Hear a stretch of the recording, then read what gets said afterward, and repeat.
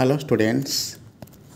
Today we will go to discuss the systematic procedure for estimation of sodium carbonate and sodium bicarbonate present in a mixture. I have prepared the solution and uh, now I am taking 10 ml of mixture of solution in a conical flask.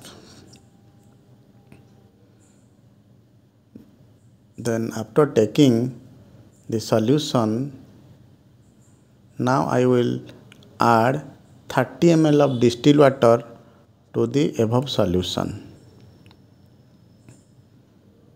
Because in diluted solution the ion can move very fast and the reaction will be very fast.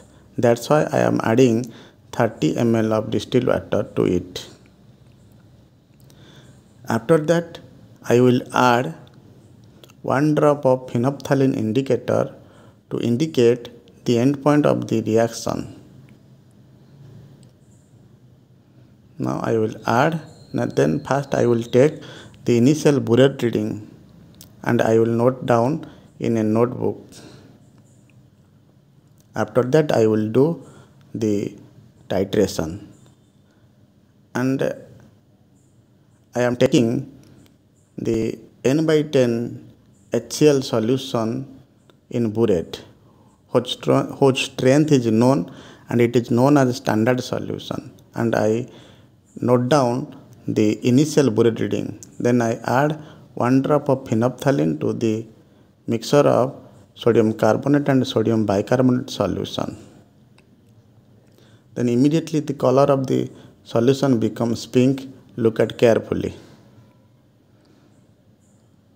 Then I will continuously stir and I will do titration with standard HCl solution taken in burette. I will add drop by drop HCl solution to the mixture of solution and con constantly stirring the solution till the color of the solution changes into colorless. And keep patience. After one or two minutes look. The slowly the color of the solution becomes vanishes. So keep patience and do titration continuously to the end point of the reaction. Slowly the color of the solution changes to colorless.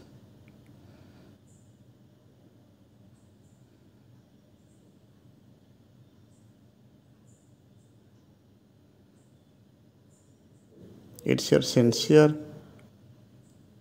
attention that you must constantly stir the solution. Look to total solution becomes colorless.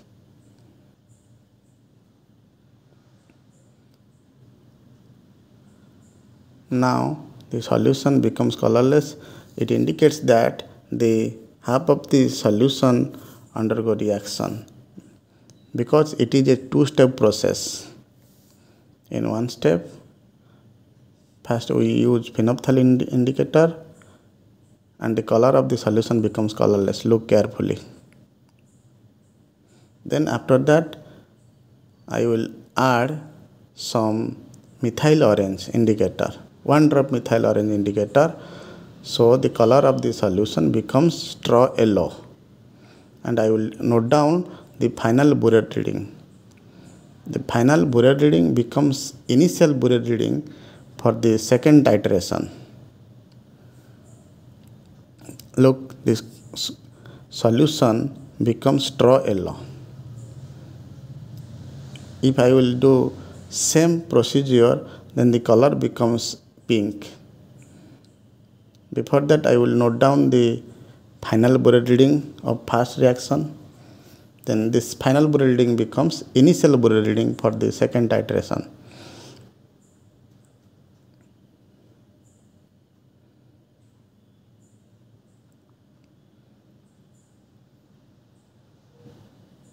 then by progressive addition of uh, same HCl solution will give the result.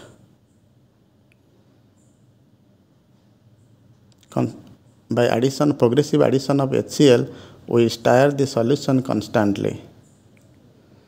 Then the color of the solution will change to pink color. It's your humble presence, your patience must be there. And you should not add um, more amount of HCl simultaneously. You should add it drop by drop continuously. Then you, you will find that the co color of the solution changes slowly to pink color. Look carefully. It becomes slightly pink. So it indicates that the reaction becomes completed. So I add just one to, to three drops to check whether the pink color persistent or not. It constantly uh, remain or not. Yes, it is constantly remain as pink. So it, it, it indicates that the reaction becomes completed. Next, I will note down the final Burette reading of the second reaction, second step. Then same procedure will follow for three times to get the three concordant reading. I think this will be helpful for you. Then if it is helpful then like, share, subscribe my channel to get the new video. Thank you all for your patience.